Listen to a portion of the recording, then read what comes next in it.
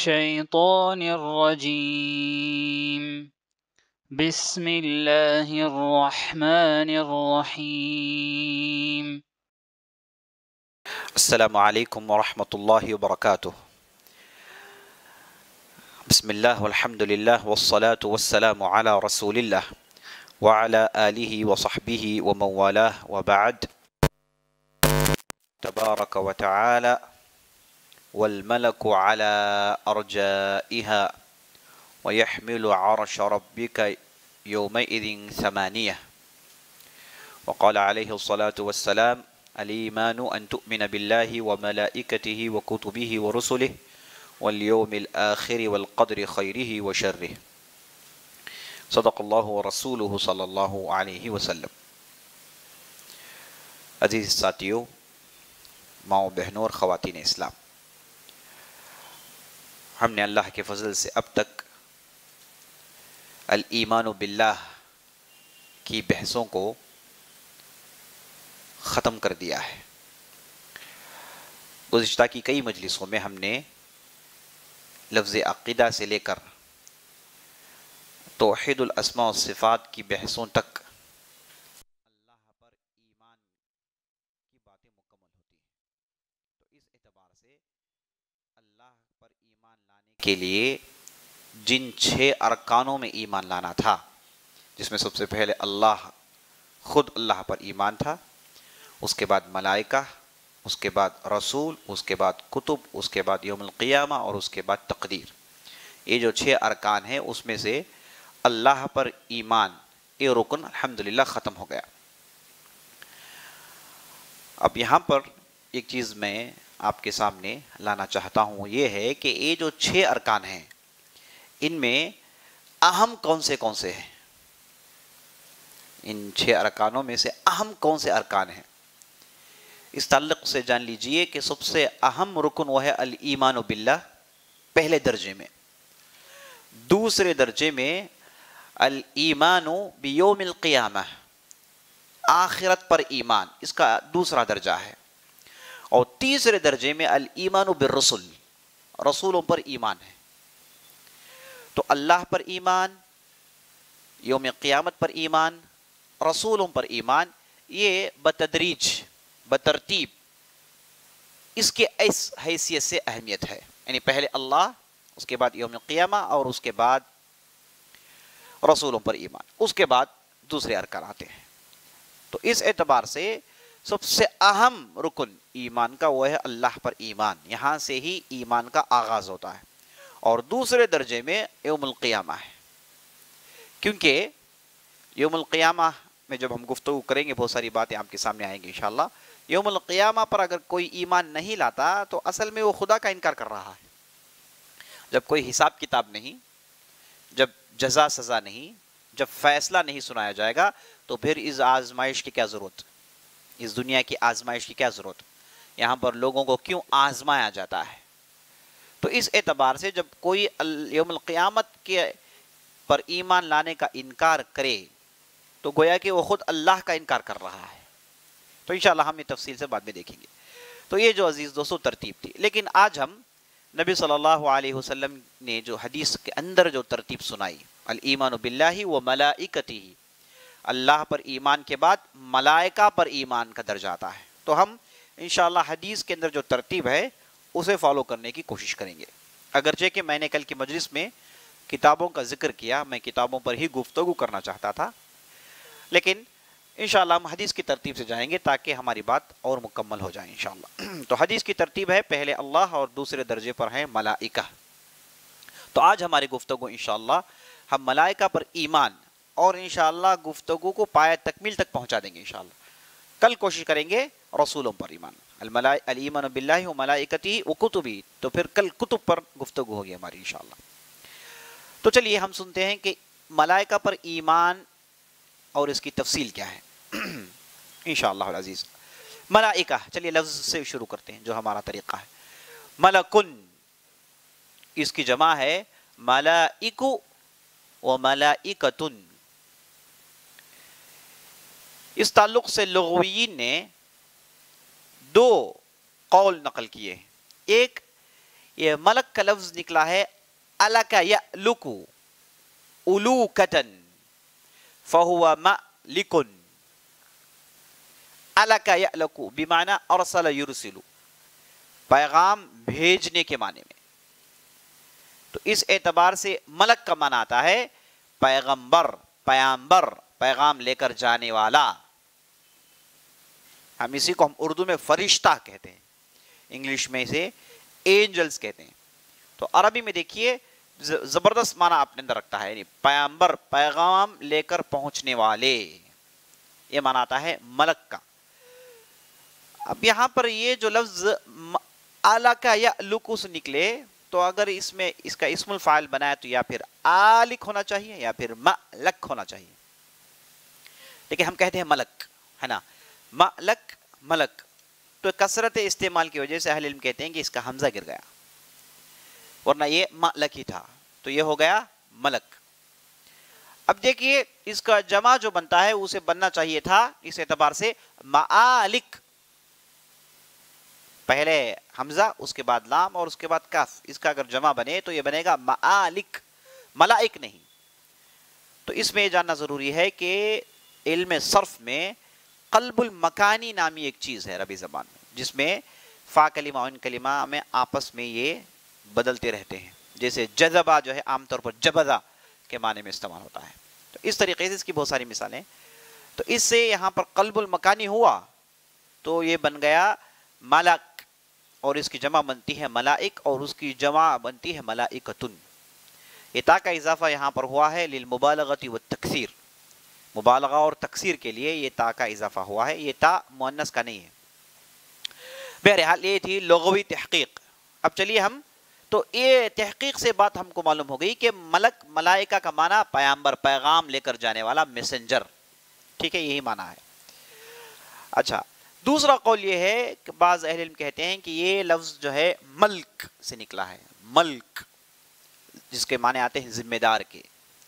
तो वहाँ से लफ्ज़ निकला है अगरचे के ये कौल सानवी दर्जा रखता है। पहला जो कौल मैंने आपको बताया वही दर्ज अवला है उसका, जिसे हम कबूल कर सकते हैं। तो ये बातें हो गई लगवी और सरफी बातें। अब चलिए आगे बढ़ते हैं असल मौजू की तरफ़। तो ये जो फरिश्ते हैं कौन हैं? ये फरिश्ते हैं, ये मुस्लिम की रिवायत है माई आयशा अरशाद फरमाती हैं खलक नूर। अल्लाह ने मलाइका को नूर से बनाया। वो खलकल जान मिन मारिज मिन नार। और अल्लाह ने जिनों को बनाया आग से।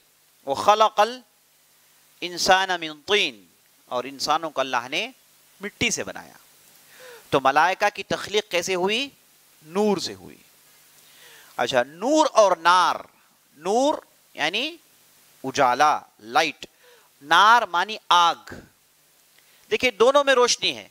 आग में भी रोशनी है, नूर में भी रोशनी है, लेकिन दोनों की रोशनी में फ़र्क है। आग की रोशनी अपने अंदर हरारत रखती है, अपने अंदर हरकत का मादा रखती है है ना? लेकिन नूर में ऐसा होता नहीं है।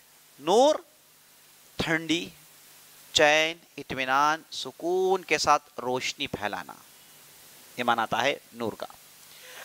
तो अल्लाह ने मलाइका को नूर से बनाया। तो जब नूर से अल्लाह ने बनाया तो मालूम हो गई कि उनकी खसलत और उनकी शिरसत कैसी है, उनकी खिलकत कैसी है।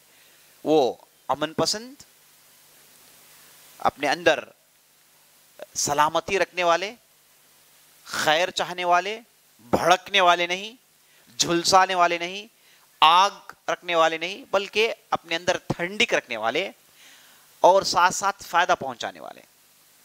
और इनकी खसलत यही यही है मलाइका।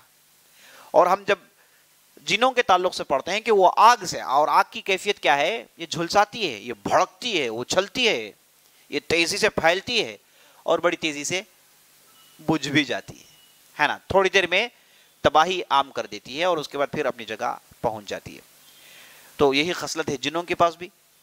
और वो तेज़ी से फैलना, और उसके बाद वो शर पसंदी उनके अंदर मौजूद है। और अल्लाह ने आदम को, इंसानों को मिट्टी से बनाया। और मिट्टी क्या है? ये अपने अंदर आजिजी, नरमी, इसके अंदर वो भड़कना, वो इस्तकबार, वो वो तकबरी नहीं, बल्कि इसे ज़्यादा रोंदा जाता है। ये पैरों के नीचे होती है चीज़। इस पर लोग चलते हैं। सिर्फ़ खैर ही खैर है। तो ये है अज़ीज़ दोस्तों, इंसान की पैदाइश की हिकमत। तो इंसान इसी से बनाया गया है, मिट्टी से बनाया गया तो हमारी गुफ्तगु थी मलाइका पर तो मलाइका बनाए गए नूर से। पहले तो ये बात हमको समझ लेनी चाहिए। दूसरी चीज़, ये मलाइका है क्या? देखिए, मलाइका पर ईमान रख लाना वाजिब है। अगर किसी ने मलाइका का इनकार किया और उसके पास कोई उजुर नहीं, सिर्फ़ जहल की वजह से उसने इनकार किया तो अलग बहस है। अगर किसी ने इसे ऐसे ही इनकार किया तो वो काफिर है। मलाइका का इनकार करना कुफर है। जैसे अल्लाह ने कुरान में कहा मन कान व रसुली व जिब्रील व मीकाल काफिरीन अगर कोई अल्लाह का दुश्मन हो मलाइका का दुश्मन हो रसूलों का दुश्मन हो जिब्रील का दुश्मन हो मीकाइल का दुश्मन हो तो अल्लाह काफिरीन का दुश्मन हमेशा होता है तो यहाँ पर कुफर कह दिया गया जिसने इनकार किया अपने अंदर अदावत रखी जिब्राइल और मिकाइल से ठीक है अदावत रखने पर कुफर का हुक्म है अगर किसी ने इनकार किया तो उसका मामला आप जान लीजिए। तो ईमान बिल मलाइका मलाइका पर ईमान रखना, ये है अज़ीज़ दोस्तों, वाजिब। इसका इनकार करना कुफर है। और ये मलाइका है क्या? ये अल्लाह की मखलूक हैं। अल्लाह ने इन्हें ढेर सारी ताकत दी है। और ये अल्लाह सुबहाना तआला के मखलूक़ात में से हैं, जिन्हें अल्लाह ने बहुत इज़्ज़त दी है। बहुत इनकी बड़ाई हुई है। है ना? अल्लाह सुबहान तआला इन्हें पसंद करता है और इन्हें अल्लाह ने करीब कर रखा है। देखिए अल्लाह ने कुरान इरशाद फरमाया, या अय्युहल्लज़ीना आमनू qu अनफुसकुम व अहलीकुम नारा, वक़ूदुहा अन्नास वल हिजारा, अलैहा मलाइकतुन शिदादुन गिलाद गिलादुन शिदाद ला यासून अल्लाह मा अमरहुम व यफअलून मा युमरून ऐ लोगो जो ईमान लाए हो अपने आप को बचा लो और अपने अहले खानदान को बचा लो अल्लाह की आग से और ये आग की ईंधन कौन होंगे? इंसान। और ये ये आग की देखभाल करने वाले, इसे भड़काने वाले, दहकाने वाले कौन है? वो मज़बूत मलाइका हैं। शिदात, अपने अंदर शिद्दत रखने वाले गिराज मज़बूत। और इनकी कैफियत क्या है? और इनके इनके अखलाक क्या है? इनकी खसलत क्या है? अल्लाह की नाफरमानी करना ये नहीं जानते और जो भी हुक्म हो जाता है उस पर अमल करके निकल जाते हैं ये अल्लाह की नाफरमानी करना इन्हें आती नहीं है तो अल्लाह ने इन्हें बई नेचर ऐसे ही बनाया है तो ये इनकी ये खूबी है अच्छा अब आगे बढ़िए ये देखते हैं कि अल्लाह सुबहाना तआला ने इन्हें बनाया है तो इनकी अजमत क्या है है ना, ये बहुत अजीम है। अल्लाह ने इन्हें बहुत ही ज़बरदस्त बनाया। देखिए, अल्लाह ने कुरान में अर्शद फरमाया, अल्हम्दुलिल्लाह अल्हम्दुलिल्लाह फातिर समावाति वल अर्द, जाइल मलाइकति उली अजनिहति मसना व सुलासा व रुबा व यजीद फिल खल्क मा यशा। तारीफ़ अल्लाह के लिए जो आसमान, ज़मीन को पहली मरतबा बनाया और मलाइका को पर वाले बनाया, जिनके दो दो तीन तीन चार चार पर होते हैं। और अल्लाह जिसे चाहे ज़्यादा करता है। तो मलाइका की खिलकत कैसी है? ये मलाइका के पर होते हैं। बुखारी और मुस्लिम की रिवायतों से मालूम होती है कि बात नबी सल्लल्लाहु अलैहि वसल्लम ने जब्राईल सलाम को देखा। आप सल्लल्लाहु अलैहि वसल्लम ने जब्राईल सलाम को उनकी असल शक्ल में दो मरतबा देखा। असल शक्ल में दो मरतबा देखा। एक मरतबा आप सल्लल्लाहु अलैहि वसल्लम जब वही का सिलसिला ख़त्म हुआ और फिर जारी हो गया छः महीने में तो उस वक्त आप वसल्लम ने जब्राईल सलाम को देखा था उनकी असल शक्ल में। तो आप वसल्लम कहते हैं कि ये इतने अजीम, इतने बुलंद, इतने बाला और इतने बड़े कि जब ये मेरे सामने आए, इन्होंने पूरे पूरे उफक को, पूरे आसमान को मेरे सामने बंद कर दिया। वलहो सितुमियाती जनाह। नबी सासम कहते हैं कि इनके 600 पर थे। इनके 600 पर हुआ करते हैं। तो जिब्राइल सलाम के पर हुआ करते थे। 600 पर। तो नबी वसल्लम जब इन्हें देखे, अपनी असल शक्ल में दंग रह गए ताजुब में पड़ गए और अल्लाह की अजमत के कायल हो गए कि अल्लाह अकबर कितनी बड़ी मखलूक है। और जब्राइल का मामला कैसा है? नबी वसल्लम मुस्लिम अहमद की रिवायत इरशाद फरमाते हैं कि जब्राइल जब मुझे लेकर मेराज में जा रहे थे तो मैंने जब्राइल को देखा कि वो अल्लाह के डर की वजह से, अल्लाह के खौफ से गोया के एक पुराना कपड़ा है जो ज़मीन में डाल दिया गया है। ए आलम, यानी अल्लाह का खौफ का ए आलम, जबकि ये क्या है? अल्लाह अकबर, ये इनकी खिलकत है। अल्लाह ने ऐसे बनाया जिनके छः से छः सौ पर है।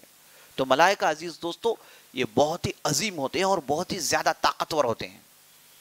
जिनों की ताकत इनके सामने कुछ भी नहीं है। ये अल्लाह के, ये जो भी हम देखते हैं मामला चलाने वाले वन्नाज़ात गर्क़ा वन्नाशितात नशता फस्साबिहात सबहा फलमुदब्बिरात अमरा ये सब मलाइका के औसाफ हैं। डूब कर रूह को खींचने वाले वन्नाज़ात गर्क़ा, वन्नाशितात नशता, बड़ी तेज़ी से हरकत करने वाले। फल मुदब्बिरात अमरा, और तमाम मामला की तदबीर करने वाले अल्लाह के हुक्म से। फस्सा बिहात सबहा, और आसमानों और ज़मीन में बड़ी तेज़ी से सैर करने वाले। तो मलाइका का ठिकाना कहाँ है? आसमान। वो आसमान वाले हैं। हम इंसान मिट्टी वाले हैं, ज़मीन वाले हैं, और वो आसमान वाले हैं। और आसमान में सिर्फ़ खैर ही खैर है, शर नहीं। आसमान में अल्लाह ने खैर ऊपर रख लिया है, और ज़मीन में खैर भी है, शर भी है। तो आसमान तमाम किस्म के शर से पाक है, और आसमान वाले ये इंतहाई नेक और परहेजगार होते हैं, जो कि वो मलाइका है। तो अज़ीज़ दोस्तों, ये थे मलाइका। तो और उसके बाद ये जो मलाइका हैं, ये इंतहाई खूबसूरत होते हैं। अल्लाह ने इन्हें बड़ा खूबसूरत बनाया है। और ये हरगिज़ क्या नहीं है? हरगिज़ ये फेमिनाइन मुअन्नस नहीं है। मलाइका में जेंडर नहीं है जिन्स नहीं है। मेल फीमेल मलाइका में नहीं है। मलाइका को फीमेल कहने वाले मुशरकिन मक्का थे, जिन्हें अल्लाह ने डांटा ढपता कहा, अस्तफल बनाते आलल बनीन, मालकुम कैफ तहकुमुन? मैं बेटियों को चुनूँगा। बेटों पर क्योंकि मुशरकिन मक्का ये कहते थे कि जितने भी मलाइका हैं अल्लाह की बेटियाँ। तो अल्लाह कहता है कि जब तुम्हारी बात आती हो तो तुम अपने आप को बेटा चुन लेते हो, है ना? बेटों पर तुम मर मिटते हो। जब तुम्हारे यहाँ कोई बेटी पैदा हो जाए तो तुम शर्म के वजह से अपने चेहरे को लोगों में दिखा नहीं पाते। अपने चेहरे को ज़मीन में धस लेते हो। लड़की अगर पैदा हो जाए और लड़कियों को तुम ज़िंदा दफन करते हो, है ना? मामला ये है। और जब अल्लाह का मामला आया तो कहते हैं कि अल्लाह की बेटियाँ हैं, ये क्या इंसाफ है? है ना? अगर आप ही की गुफ्तु को आगे बढ़ाएँ, है ना? नजूलन तुम्हारे गुफ्तगु के लिए अगर ये कहा जाए तो आपको तो कहना चाहिए कि अल्लाह के बेटे, बेटों को तुमने अपने आप के लिए खास कर दिया, बेटियाँ अल्लाह के लिए डाल दिया, ये क्या इंसाफ है? तो अल्लाह ने इन्हें डांटा धपका कहा कि अल्लाह की बेटियाँ नहीं हैं मलाइका। और मलाइका को बेटियाँ या फिर बेटों में तकसीम करना, मुजक्कर मुन्नस में तकसीम करना इसकी कोई दलील नहीं है। मलाइका के अंदर कोई जेंडर नहीं है। क्या मलाइका, वो आपस में उनकी शादियाँ होती हैं, उनके बच्चे होते हैं, ऐसा होता नहीं है। मलाइका को अल्लाह बनाता है और उसके बाद वो उनकी जो है पैदाइश हो जाती है। ना, जैसे मुस्लिम वगैरह की रिवायत में आया है कि अल्लाह सुबहान तला ने बैत मामूर बनाया है। नबी सल्लल्लाहु अलैहि वसल्लम जब मेजार, मेराज में गए तो आपने बैत मामूर की जियारत की और बैत मामूर में इब्राहिम अलैहिस्सलाम बैठे थे और पीछे से टेका लिए हुए थे बैत मामूर का। ये बैत मामूर क्या है अज़ीज़ दोस्तों? ये बैत मामूर वही काबा जो ज़मीन में है। इस जैसा बिल्कुल एक अजीम अल्लाह का घर है सातों आसमान में। सातवें आसमान में जहाँ मलाइका तवाफ करते हैं। तो नबी सासम कहते हैं कि वहाँ पर अल्लाह सुबहान तआला रोज़ाना सत्तर हज़ार फरिश्ते पैदा करता है, जो अल्लाह की इबादत में एक मरतबा चले जाते हैं और फिर कभी बैत मामूर से बाहर नहीं निकलते। उनमें से कोई सजदा कर रहा है, उनमें से कोई इबादत में मसरूफ है। हर आदमी अपने अपने हिसाब से इबादत में मसरूफ हैं। तो मलाई की गिनती क्या है? वलिल्ला जुनुदुसमावाती वल अर्द। वलिल्ला जुनूद। अल्लाह के लिए अल्लाह की आर्मी है। जुनूद रब्बी का अल्लाह अल्लाह के आर्मी को सिवाय अल्लाह के कोई नहीं जानता। तो इनकी तादाद अनगिनत है। इंसानों की तादाद कुछ भी नहीं है। देखिए, वो हदीस जो मैं कल आपको सुना रहा था, मुस्लिम वगैरह की हदीस, जिसमें नबी वसल्लम इरशाद फरमाते हैं कि जब क़यामत कायम होगी, जहन्नम को पेश किया जाएगा और जहन्नम को फरिश्ते खींच कर लाएँगे और जहन्नम छिंगाड़ेगी, चीखेगी, चिल्लाएगी। तो जब जहन्नम को खींच कर लाया जाएगा तो जहन्नम के सत्तर हज़ार लगाम होंगे और एक एक लगाम को सत्तर सत्तर हज़ार फरिश्ते खींच कर लाएँगे। तो आप अब कैलकुलेट कर लेंगे सत्तर हज़ार जरब लगाइए सत्तर हज़ार से। Seventy thousand into seventy thousand, ये सिर्फ़ वो मलाइका है जो जहन्नम खींच कर लाएँगे। अब उसके अलावा आप लगा लीजिए, यहाँ तक हदीसों में बात आती है कि आसमान से जब बारिश बरसती है, हर बूंद के साथ एक फरिश्ता उतरता है। हर बूंद के साथ एक फरिश्ता उतरता है। तो मलाइका की गिनती बहुत ज़्यादा है। हमारी इंसानों की गिनती कुछ है ही नहीं। हम इंसान इस ज़मीन में हैं, है ना? ये खामखा, ये परेशानी लोग शुरू करते हैं कि ज़मीन को इंसानों ने ज़्यादा ऑक्यूपाई कर लिया। ज़मीन को इंसान पोल्यूट करते हैं। कहाँ का भाई पोल्यूट आप जानते हैं ज़मीन कितनी बड़ी है? इंसान इतनी बड़ी ज़मीन में उसका जो ऑक्यूपाइड एरिया है, वो 10 से 20 परसेंट से ज़्यादा नहीं है। बाकी 80 फ़ीसद क्या है? खाली है। बिल्कुल खाली है 80 फ़ीसद। शहर लोगों की जो है ज़्यादा कसाफत याद रख लीजिए बहुत ही कम है। ज़मीन बहुत खाली, अल्लाह ने ज़मीन बहुत बड़ी बनाया ये। है ना? ये खाम खा के जो है अपने प्रोपोगंडा ये चला रहे हैं। शायद इसके पीछे इनके कुछ मकासद हों, कोई दूसरी चीज़ें हों, है ना? ये ग्लोबल वार्मिंग, ये जो दूसरे जो ये उन्होंने बना रखे हैं, पता नहीं किस हद तक ये सही है। और इसके पीछे इनके क्या मकासद हैं? अल्लाह आलम। लेकिन ये बात तो बिल्कुल हकीकत पर मबनी है कि ज़मीन बहुत बड़ी है। इसकी कोई हद नहीं, बहुत बड़ी ज़मीन अल्लाह ने बनाई और हम इंसान और यहाँ तक साइंसदान खुद कहते हैं कि ज़मीन में जितने चूंटियों का बार है, चूंटियों का जो वज़न है, उससे कम वज़न है इंसानों का ज़मीन पर। चूंटियाँ अगर ज़मीन की जोड़ ली जाए तो उनका जो वज़न है, उससे कम है इंसानों का वज़न ज़मीन पर। चूंटियाँ उतनी है ज़मीन में। और उसके अलावा कितने मखलूक़ात हैं? है ना? और कितनी चीज़ें अल्लाह ने ज़मीन बनाई। बहुत सारे बहुत सारे इलाके आज भी दुनिया में ऐसे हैं जो क्या हैं? एक्सप्लोर नहीं हुए। इंसान वहाँ तक पहुँचा ही नहीं ज़मीन की बात है है ना? तो इस एतबार से अज़ीज़ दोस्त ये जान लेना चाहिए कि इंसानों की तदादी ज़मीन में कुछ है ही नहीं है। ख़ास तौर पर मलाइका के मुकाबले। मलाइका ये बहुत बड़ी इनकी तदाद है। अल्लाह अकबर। और हर फर्द के साथ मलाइका है। यहफून अमरिल्ला अल्लाह के हुक्म से वो इंसानों के हिफाजत करते हैं।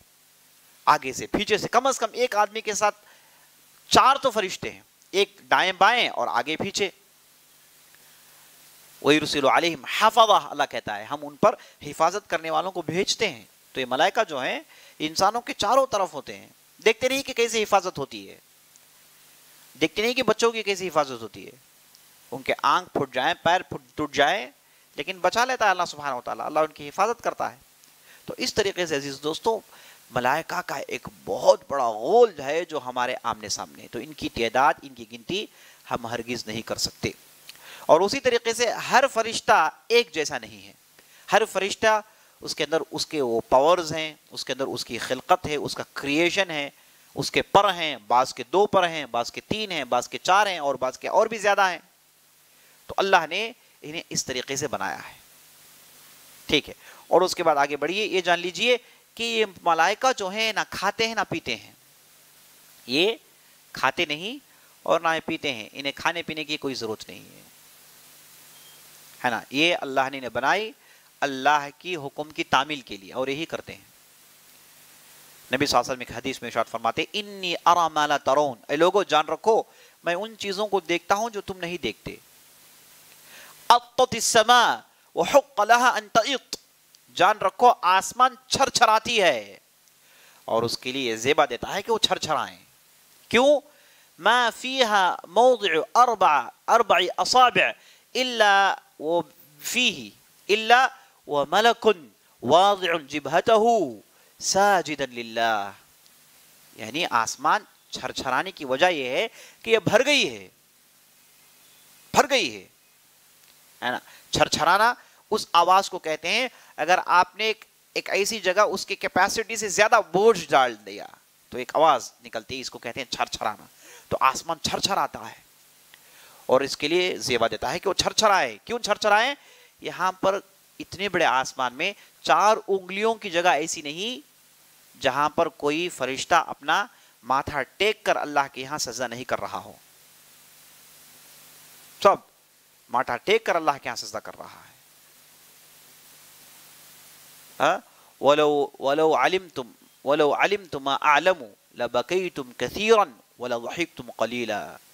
अगर तुम्हें वो मालूम हो जाए जो मुझे मालूम है तो तुम बहुत ज़्यादा रोगे और बहुत कम हंसोगे बहुत ज़्यादा रोगे और बहुत कम हंसोगे वमा तलज्जत तुम बिनिसा अलल फरश और तुम में से जो शादीशुदा हैं वो अपनी बीवियों से मज़े नहीं लेंगे अपनी बिस्तरों में वला खरज तुम इलसुदात तजअरून इल्लाह तुम्हारा मामला ये हो जाएगा, जो मैं जानता हूँ, अगर तुम जान लो तो तुम सड़कों में निकल आओगे सब कुछ छोड़कर। और चीखते, पुकारते, अल्लाह का नाम लेते हुए दौड़ना शुरू कर दोगे। यानी बेकरार हो जाओगे। यानी जो चीज़ें मैं जानता हूँ, वो चीज़ें तुम नहीं जानते, तुम तो बहुत कम जानते हो। और आप सल्लल्लाहु अलैहि वसल्लम का माना है मामला तो ये है कि आपकी मुलाकात फरिश्तों से होती है। आलम बाला से इन्हें खबरें पहुँचती हैं।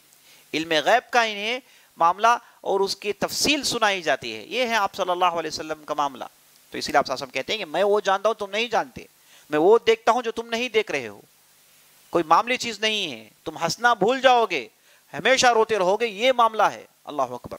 तो इसे अज़ीज़ दोस्तों, ये बात मालूम हुई कि आसमान भरी पड़ी हुई है किससे? फरिश्तों की कसरत से। और ये फरिश्ते ना खाते हैं, ना पीते हैं। अल्लाह ने इन्हें बनाया है। सिर्फ़ और सिर्फ़ किसके लिए? इबादत के लिए। इब्राहिम अलैहिस्सलाम इब्राहिम अलैहिस्सलाम के पास तीन फरिश्ते आए। जब्राइल, मिकाइल और इसराफी ये तीन फरिश्ते इब्राहिम अलैहिस्सलाम के पास भेजे गए थे। लूत अलैहिस्सलाम के पास जाने से पहले। लूत अलैहिस्सलाम पर अल्लाह का हुक्म आ गया था कि अजाब आए, क्योंकि कौम ने तमाम हदूद पार कर दिए थे। बुराई की चोटी को पहुँच गए थे। तो अल्लाह का हुक्म आ गया कि इन्हें बर्बाद कर दें। तो फरिश्ते आखिरी हजत के लिए नाजिल हुए और सबसे पहले इब्राहिम अलैहिस्सलाम के पास गए, क्योंकि इब्राहिम अलैहिस्सलाम लूत अलैहिस्सलाम के चचा थे। और इब्राहिम अलैहिस्सलाम के हुक्म पर रूत अलैहिस्सलाम दावत का काम करने के लिए सदूम के इलाके में पहुँच गए थे। तो इब्राहिम अलैहिस्सलाम के पास आए तो इब्राहिम देखे कि कोई मेहमान आए हैं। ये बुज़ुर्ग रसूल इन तीनों मेहमानों का इस्तकबाल करते हैं और उन्हें बिठाते हैं और देखते हैं कि बड़े साफ़ शफाफ मुनवर चेहरे वाले बुज़ुर्ग लोग आए हैं। इब्राहिम अलैहिस्सलाम को अभी तक पता नहीं कि ये कौन है। इन तीनों को बिठाते हैं, फराग अहली और दौड़ते हैं अपने घर वालों के पास। जाकर कहते हैं कि देखे, मेहमान आए हैं। फजा अब इजलिन हनीद, जाए उन्होंने बछड़ा जबह किया, मेहमान नवाजी के लिए तैयारी की और गोश्त उनके लिए पेश कर दिया गया।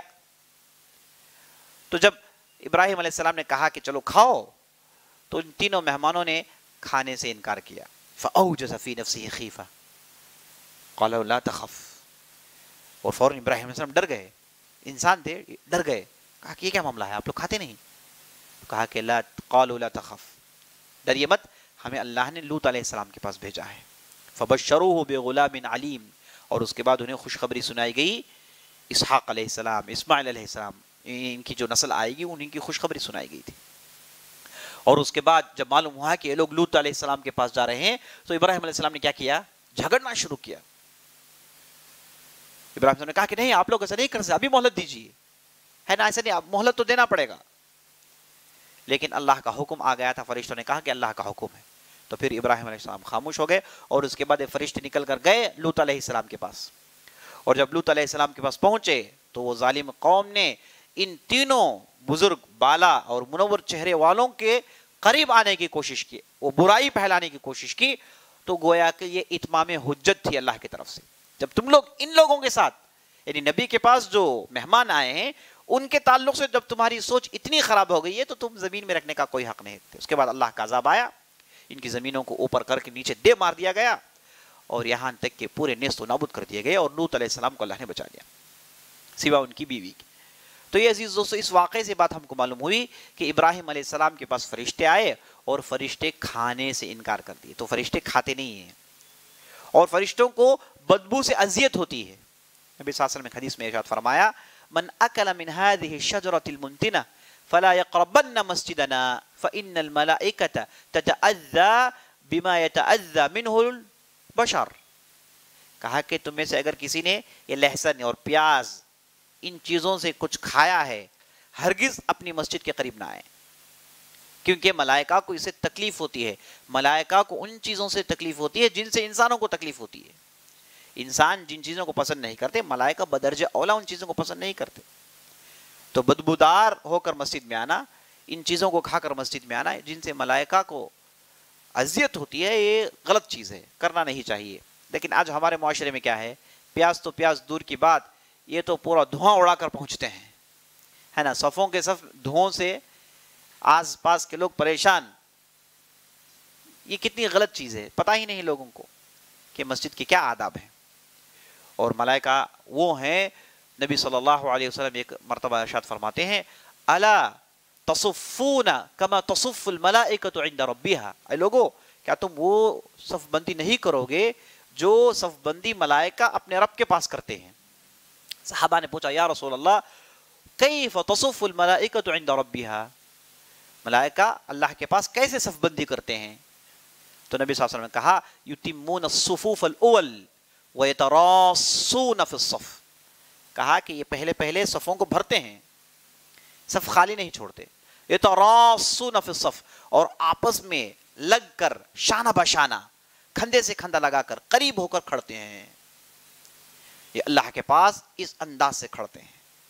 तो इसे बात ये मालूम हुई कि नबी वसल्लम हमें ये तालीम दे रहे हैं कि देखो, तुम्हारे जो सीनियर्स हैं, यानी तुमसे पहले जिन्हें अल्लाह ने बनाया है, जो तुमसे ज़्यादा अल्लाह के करीब हैं, उनका मामला ये है कि सफ़बंदी करते हैं और तुमको चाहिए कि उन्हें फॉलो करें।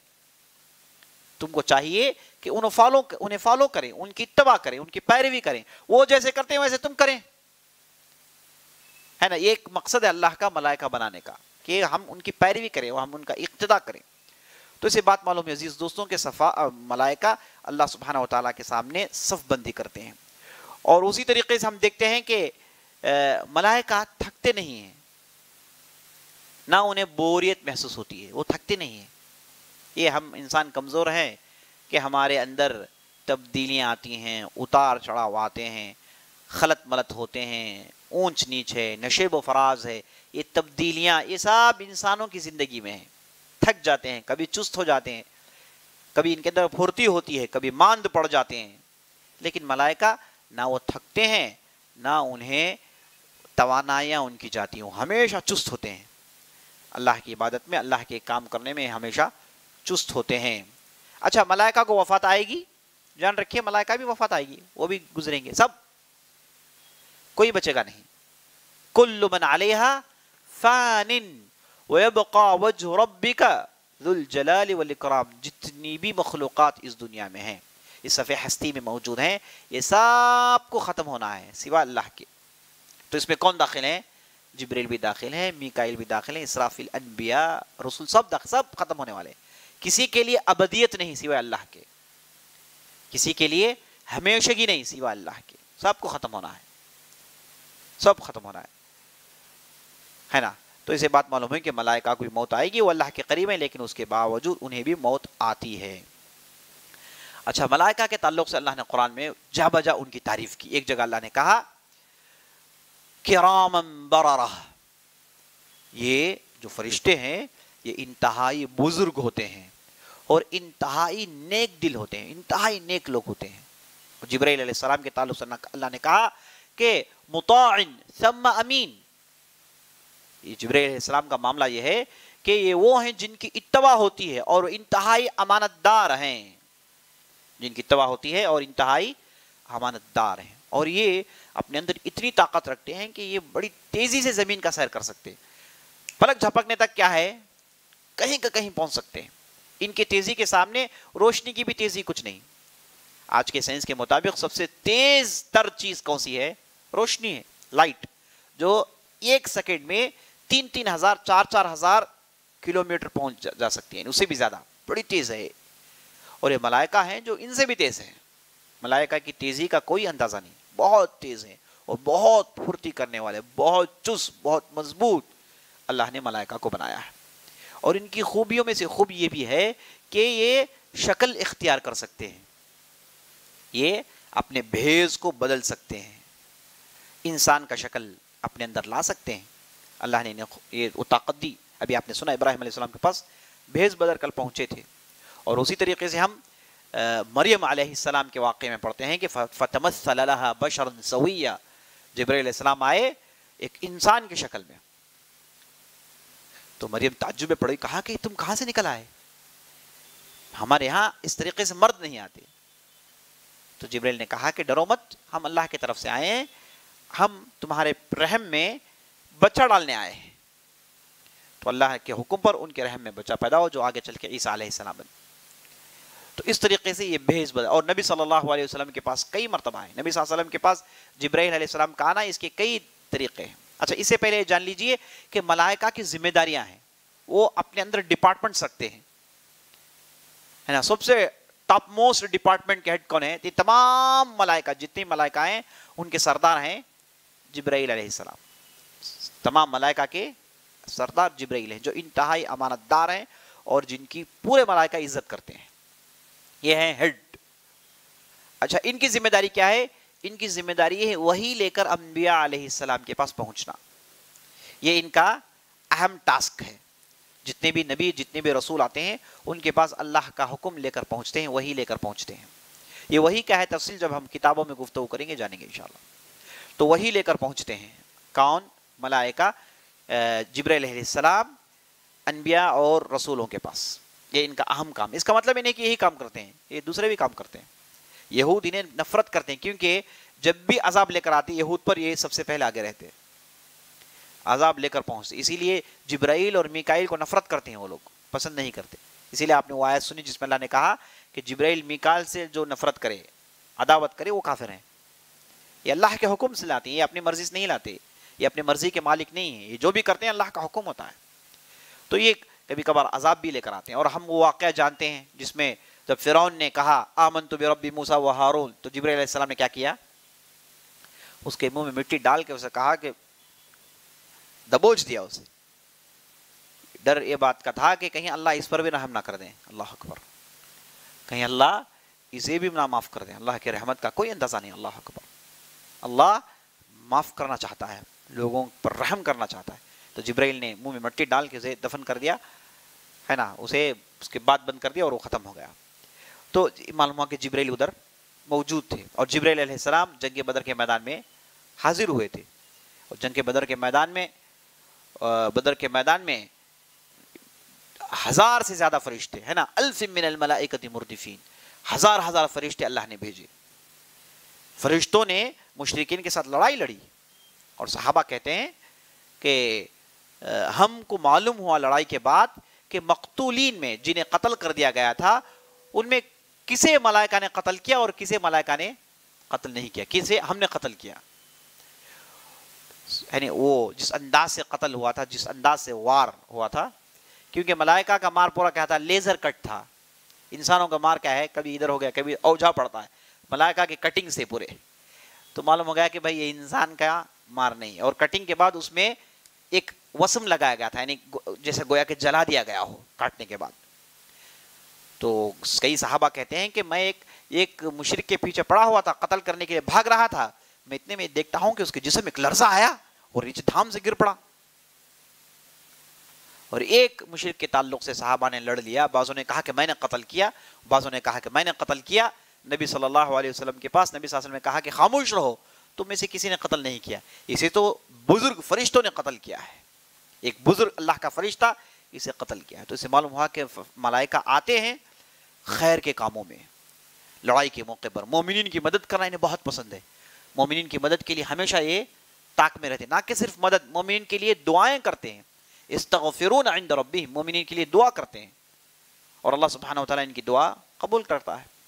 और वो जो मशहूर हदीस है मुस्लिम अहमद की, जिसमें कहा गया कि जो आदमी इल्म हासिल करने के लिए अपने घर से निकलता है, घर से निकलता है दीन सीखने के लिए, जैसे आप लोग कर रहे हैं, अल्हम्दुलिल्लाह, अल्लाह हमारी मेहनतों कबूल फरमाए। तो घर से निकलकर जब आदमी इल्म हासिल करने के लिए उस जगह पहुँचता है तो रास्ते में जितने भी चरिंदे परिंदे, दरख्त, पत्थर, जो भी थे सब, वो तालब इल्म के लिए दुआ करते हैं। हत्तल मलाइका, यहाँ तक कि मलाइका भी उसके लिए मगफिरत चाहते हैं। और यहाँ तक के समंदर में जो मछलियाँ हैं, वो भी उस आदमी के हक में दुआ करते हैं, जो दीन सीखता है। तो इतना बड़ा मरतबा है। सो मालूम हुआ कि मलाइका इस्तफार करना पसंद करते हैं। तो मलाइका के डिपार्टमेंट अज़ीज़ दोस्तों तो टॉप डिपार्टमेंट वही का डिपार्टमेंट इसके हेड कौन है? जो कि तमाम डिपार्टमेंट्स के हेड हैं, वो हैं जब्राईल सलाम। ये हमेशा वही लेकर पहुँचते हैं। दूसरे दर्जे में आते हैं मीकाईल सलाम। इनका काम बारिश बरसाना। इनका काम पानी बरसाना। जब्राईल सलाम दिलों को ज़िंदा करते हैं तो ये ज़मीन को ज़िंदा करते हैं मीकाईल अच्छा एक दूसरे, तीसरे फरिश्ते हैं जिनका नाम इसराफील, ज़िक्र आया है इनका हदीसों में। ये सूर फूंकने की इनकी ज़िम्मेदारी है। नबी वसल्लम कहते हैं कि कई फ़ानाम मुझे खुशी कैसे होगी? मैं कैसे दुनिया से लुत्फ अंदोज हो सकता हूँ, जबकि सूर फूंकने वाले सूर अपने मुँह में डालकर खड़े हुए हैं? सिर्फ़ अल्लाह के हुक्म का इंतज़ार है। हुक्म हो जाए तो सुर फूंक देंगे। तो मैं कैसे इस दुनिया की सादतों से लुत्फ अंदोज हो सकता हूँ? नबी सासम कहते हैं। तो इसे मालूम हुआ कि ऐसा एक फरिश्ते हैं जो सूर फूकने वाले हैं। सूर कितनी मरतबा फूकेंगे? हर फूकने के बाद क्या होगा? हम यमल क़यामत में गुफ्तु करेंगे इन तो इसराफ सलाम का काम सूर फूकना है। और उसी तरीके से जबान जद आम एक मलक का नाम है। एक फरिश्ते का नाम है, वो क्या है? अजाजील। है ना? अजाजील कौन है? कहते हैं कि ये मौत इसराइल इसराइल कहते हैं हमारे लोग। है ना, ये वो जो मौत के फरिश्ते कहते हैं। मौत के फरिश्ते का नाम सही हदीसों में नहीं आया है। उन्हें मलकुल मौत ही कहना चाहिए। है ना, मलकुल मौत। मलकुल मौत वो जो मौत देते हैं, जो मौत देने की ज़िम्मेदारी एक फरिश्ते की है। उसी तरीके से पहाड़ों का एक फरिश्ता है, जो नबी सल्लल्लाहु अलैहि वसल्लम के पास हाजिर हुआ था। जब आप वसल्लम तायफ से वापस आए तो बड़े मायूसी हुई।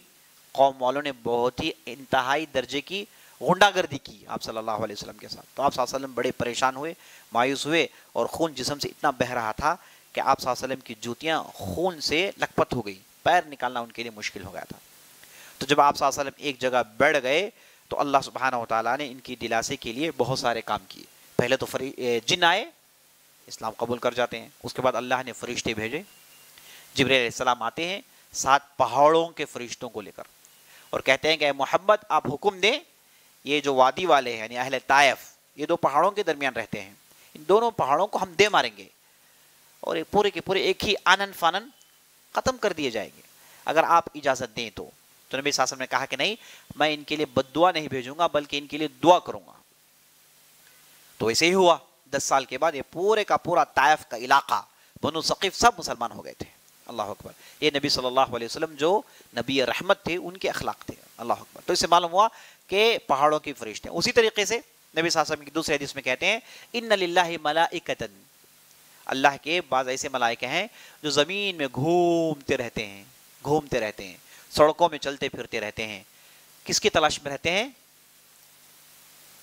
हिलक ज़िक्र, इल्म की मजलिसों को ढूंढते रहते हैं। जहाँ कहीं भी इल्मी मजलिस हो जाए वो सब आके बैठ जाते हैं, इल्म की बातें सुनते हैं। मजलिस वालों को रहमत बख्शते हैं। तो दीनी मजलिस में आने की एक खूबी, एक फ़ायदा इसमें यह है, बहुत बड़ा कि ऐसी मजलिसों को मलाइका अपने परों से ढांकते हैं। माना ये कि अल्लाह इनसे राज़ी हो जाएगा, अल्लाह इन्हें अपने रहमत का एक हिस्सा बनाएगा, ये माना है इसका। तो मलाइका में से बाज़ मलाइका ऐसे हैं जो शिफ्ट में काम करते हैं, है ना?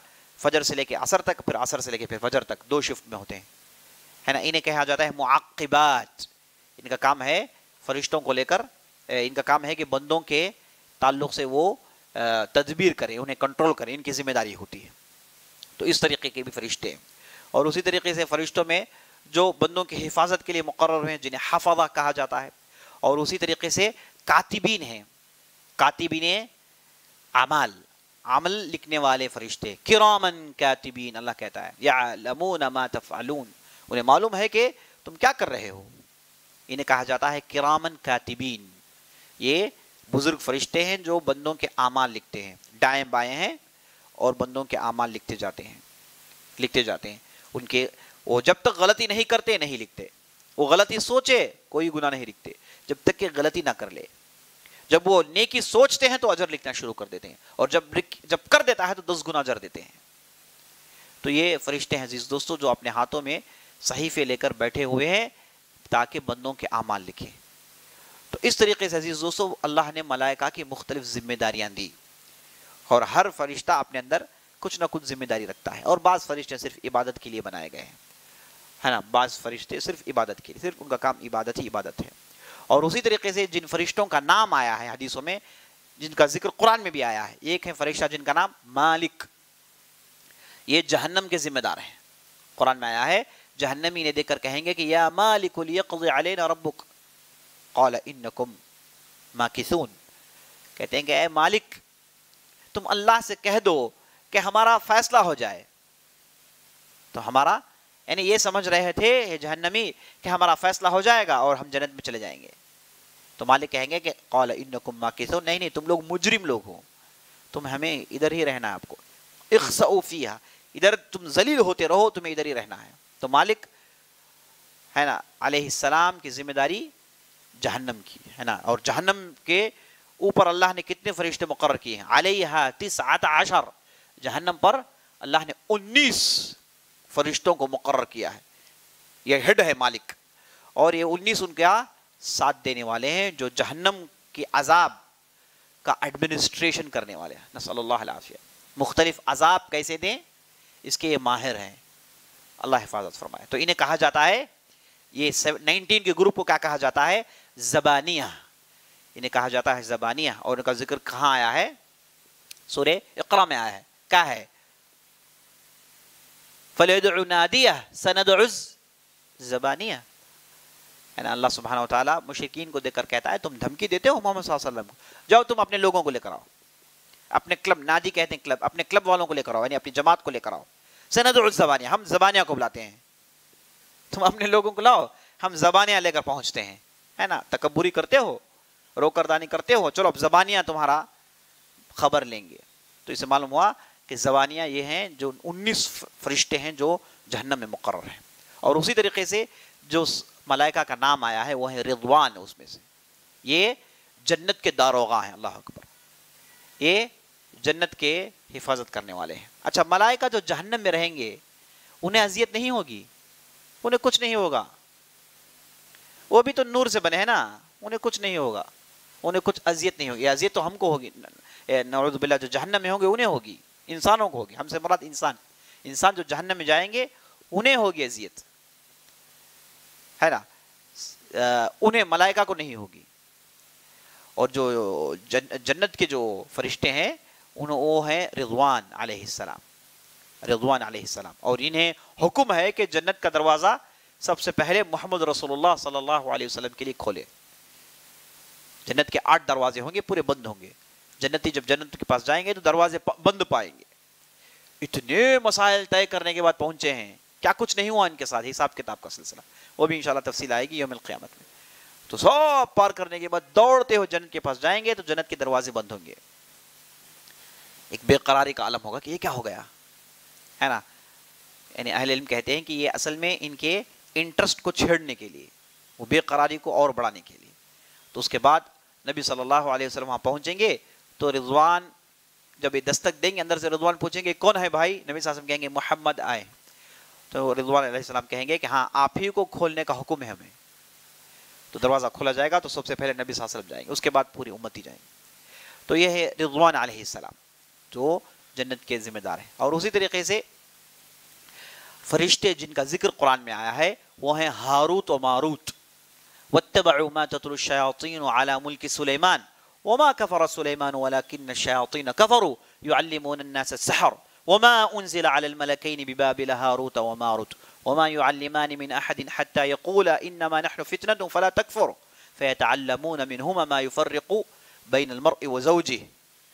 वमा हम बिदारी नबी इल्ला बिइज़निल्लाह वयतअल्लमून मा यदुर्रुहुम वला यनफ़उहुम वलक़द अलिमु लमन इश्तराहु मा लहु फिल आखिरति मिन खलाक़ इस आयत के अंदर अल्लाह सुबहानहू तआला ने हारूत मारूत का ज़िक्र किया, सूरह बकरा के आते। ये हारूत मारूत कौन हैं? इस ताल्लुक से बाज़ मुफसरीन ने इख्तलाफ किया। बाज़ लोगों ने कहा कि ये ये फरिश्ते नहीं, क्योंकि इस आयत के अंदर क्या कहा गया है कि ये ये वो हैं जिन्हें अल्लाह ने शहर का इल्म देकर ज़मीन में भेजा, ये आए और लोगों से कहते कि देखो, शहर का इल्म हमारे पास है, लेकिन याद रखना, हमसे मत सीखना इसे। हम फितना है। इन नहन फितना। अल्लाह ने तुम्हारे आजमाइश के लिए हमें भेजा है। तुम हरगिज हमसे ये ना सीखना। लेकिन यहूद वो थे जो जा जाकर जा जाकर जा जाकर इनसे शहर सीखते हैं और उसके बाद गुमराह होते हैं। तो ये हारूत, मारूत, ये फरिश्ते थे, ये जिन नहीं थे। यही सही कौल है, इमाम तबरी वगैरह ने इसी को राज कहा है। कि हारूत मारूत, ये फरिश्ते थे अल्लाह की तरफ़ से। अब सवाल ये है कि फरिश्ते कैसे शहर सिखा सकते हैं? ये अल्लाह की मर्ज़ी, अल्लाह आजमाता है। अल्लाह ने बतौर आजमाइश इल्म देकर भेजा और जब ये बाबिल में जाकर रहे और वो ज़माना था जब यहूद बाबिल में थे, यहूदों को नेबुट कैटजर ने बुख्त नसर ने उनकी बस्तियों को बर्बाद किया और सबको गुलाम बनाकर इसने पहुँचा दिया बाबिल, इराक। और ये पूरे के पूरे बाबिल में बतौर गुलाम जिसे वो कहते हैं कैप्टिव इरा बतौर गुलाम थे पूरे यहूदी और खूब इन्हें पीसा गया, खूब पीसा गया। तो उस मौके पर उनमें भी बाज जो नेक थे, उनके दरमियान जो दावत का काम करते थे, तबलीग का काम करते थे, वही उम्मत मुस्लिमा थी मुसलमानों से पहले। तो उन्हें आजमाने के लिए अल्लाह सुबहान तला ने ये फरिश्ते भेजे और ये ज़माना था जब यहूद ने खूब सहर सीखा। बिकलिमात खूब सहर सीखा। तो बतौर आजमाइश अल्लाह ने भेजा था इन्हें और ये बार बार कहते थे कि देखो, हमसे हरगिज शहर मत सीखो। अगर सीखोगे तो तुम मियाँ बीवी में तफरका डालना सीख जाओगे। और अल्लाह कहता है कि, ओमा हम बेदारीन ये अल्लाह के हुक्म के अलावा कुछ नुकसान नहीं पहुँचा सकते। अल्लाह का हुक्म हो तो ये नुकसान पहुँचा सकते हैं। तो इसे मालूम अज़ीज़ दोस्तों, ये जैसे बाज लोग कहते हैं कि ये जिन थे, कैसे मलक शहर सिखा सकते हैं। राज कौल यही है मुफसरीन का कि ये फरिश्ते थे और ये शहर सिखाते थे बतौर आजमाइश। और सिखाने से पहले कहते यकूला, इन्नमा फितना। किसी को सिखाते तो साथ क्या कहते, कि हम क्या हैं? फितना है हाँ हमसे बस सीखें। बहरहाल एक लंबी बहस है। मुख्तसर यही है कि हारुत मारूत, ये भी फरिश्ते थे जिन्हें अल्लाह ने ज़मीन में भेजा। इस तरीके से फरिश्तों के मुख्तलिफ़ नाम आए बाज़ लोगों ने रकीब अतीत को भी फरिश्ता माना है, जिसकी कोई दलील नहीं। तो ये बाज़ फरिश्ते जिनके नाम आए हैं। और उसी तरीके से अर्श को थामने वाले बाज़ फरिश्ते हैं। है ना? जैसे वलमलक अला अर्जाइहा वयहमिल अर्श रब्बिका यौमइदिन समानिया। अल्लाह के अर्श को थामने वाले आठ हैं। जिस अर्श पर अल्लाह जहाँ मुस्तवी है, उस अर्श को थामने वाले आठ हैं। और नबी सल्लल्लाहु अलैहि वसल्लम की हदीस है मोहसिन अहमद के, आप कहते हैं कि मुझे इजाज़त मिली है कि मैं एक अर्श के जो थामने वाले हैं, उनके ताल्लुक से मैं आपको चंद बातें बताऊँ। वो बातें क्या है? कि शहमतुल उजन इला मन की भी सब अमियत सना, जिनके कान के लोलकियाँ और खांदे के दरमियान सात सौ साल का फासला है। तो आप अजमत का ख्याल लगाएँ। तो ये तो ये जो आठ फरिश्ते हैं, इन्हें कहा जाता है कुरूबियून। इन्हें कहा जाता है कुरूबियून। अल्लाह इकबाल ने कहा दर्द दिल के वास्ते पैदा किया इंसान को। दर्द दिल के वास्ते पैदा किया इंसान को। वरना तात के लिए कुछ कम न थे कुरूबियाँ। है ना, शायर अपने दर्द को पेश कर रहा है। अल्लाह ने हमें दर्द देने के लिए पैदा नहीं किया। वो शायर अपने उसलूब में कहता है, लेकिन यहाँ पर मुराद जो है, वरना तात के लिए कुछ कम न थे, यानी इतात करने के लिए कुछ कम न थे कौन? कुरूबियाँ। कुरूबियाँ से मुराद कौन? यही आठ फरिश्ते, और ये आठ फरिश्तों में से फरिश्ते इसराफील हैं अलैहिस्सलाम आठ फरिश्तों में से ये हमलतुल अर्श में से हैं। हमलतुल अर्श, एक मशहूर दुआ है अल्लाह इन्नी असबहतु उशहिदु का वो उशहिदु मलाइकता का वो हमलत अर्शिक। अल्लाह, मैं सुबह पहुँचा हूँ, सुबह में, अल्हम्दुलिल्लाह, और मैं शहादत देता हूँ कि तू और मलाइका और हमलतुल अर्श अर्श के थामने वाले तेरे सिवा कोई मबूद बर हक नहीं। ठीक है? तो अज़ीज़ दोस्तों, ये थे मलाइका और ये थे उनके अखलाक। और मलाइका, उनकी इबादत का तो आपने ज़िक्र सुन लिया, इंतहाई इबादत गुजार लोग। और साथ साथ ये इंतहाई नज्म नस्क के पाबंद। इनके अंदर नज्म नस्क, हाईली एडमिनिस्ट्रेटेड। ये ज़रा बराबर भी ताखिर नहीं करते। एक लम्हा भी इनसे ताखिर नहीं होती। जैसे हुक्म जब करना है, वहाँ वो कर देते हैं।